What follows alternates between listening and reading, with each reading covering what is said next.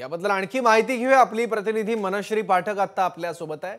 मनश्री दसरा मेळाव्याला महापालिकेकडून परवानगी देण्याबाबत निर्णय अजून गेला नाहीये आणि त्यात फडणवीस यांची ही प्रतिक्रिया आलेली आहे जी आता आपण ऐकली. नेमके काय संकेत मिळत आहेत यातून?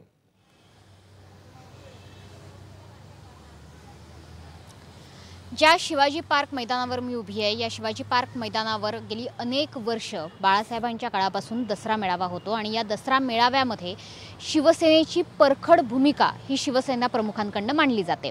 यावर्षी शिवसेनेतली सध्याची राजकीय परिस्थिती बघितली तर अर्थातच दोन गटांपैकी नेमकं कोण दसरा मेळावा घेणार असा एक प्रश्न निर्माण झाला आहे याचं कारण असं आहे की गेल्या बावीस तारखेला शिवसेनेकडनं एक अर्ज दसरा मेळाव्याच्या परवानगीकरता महापालिकेच्या जी नॉर्थ विभागाला मिळाले मिळालेला आहे.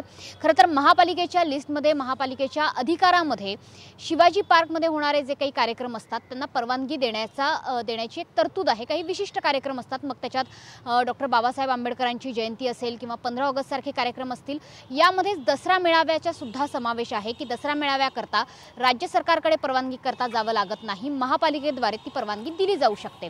गेली अनेक वर्ष ही परवानगी देणं ही केवळ एक औपचारिकता होती. केवळ अर्ज स्थानिक आमदारांकडनं प्राप्त करून घेणं आणि त्याच्यावर रिसिव्डचं साईन करणं वॉर्ड ऑफिसरने ही केवळ एक औपचारिकता होती. मात्र यावर्षी असं झालं आहे की अद्याप बावीस तारखेनंतर वॉर्ड ऑफिसरने स्थानिक वॉर्ड ऑफिसरांनी कोणताही निर्णय घेतलेला नाही आहे म्हणजेच महापालिकेच्या अधिकाऱ्यांमध्ये थोडासा संभ्रम निर्माण झालेला आहे की या दसरा मेळाव्याला परवानगी द्यायची की नाही.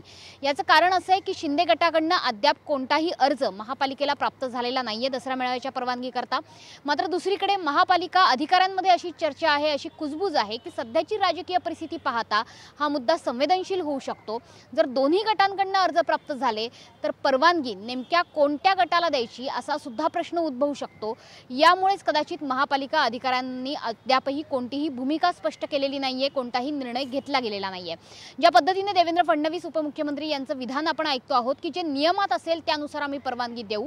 मात्र नियमाप्रमाणे म्हणजे गेली अनेक वर्षांची जी सवय आहे त्यानुसार या ठिकाणचे स्थानिक आमदार सदा सरवणकर हेच महापालिकेत अर्ज देतात दसरा मेळाव्याच्या परवानगी करता आणि त्यानंतर ती परवानगी दिली जाते. मात्र यंदाच्या वर्षी स्थानिक आमदार सदा सरवणकर यांनी अर्ज दिलेला नाहीये. ते सिद्धे गटामध्ये आहेत. त्यामुळे आमदार सदा सरवणकर यापुढे अर्ज देत आहेत का? आणि जर तो अर्ज दिला गेला तर नेमका दसरा मेळावा कुणी घ्यावा याकरता ते अर्ज देत आहेत हे बघणं सुद्धा तितकंच महत्त्वाचं आहे. त्याच्यामुळे शिवसेना कुणाची. शिवसेनेचं पक्षचिन्ह कुणाचं याबरोबरच आता दसरा मेळावा सुद्धा. कुणाचा असा प्रश्न उपस्थित होतोय. बरोबर. धन्यवाद मनश्री या सगळ्या माहितीबद्दल. एबीपी माझा. उघडा डोळे बघा नीट.